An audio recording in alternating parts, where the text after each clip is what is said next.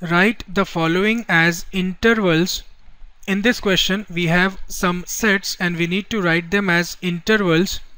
Let us see the solution for each section one by one. In the first section we have set x such that x belongs to real number. X is greater than minus 4 and less than or equal to minus 6 here the given set is open on left and closed on right since 6 is included hence we can write it as minus 4 comma 6 we know that square bracket is the symbol for closed and simple bracket is the symbol for open. Moving on to second section here we have set x such that x belongs to real number and x lies between minus 12 and minus 10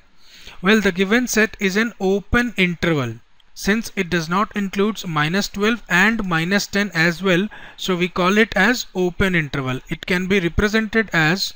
minus 12 comma minus 10 it is open on both the sides. And in a third section we have set x such that x belongs to real number and x is greater than or equal to 0 and less than 7 this set is closed on left and open on right hence we can write it as 0 comma 7 in the last section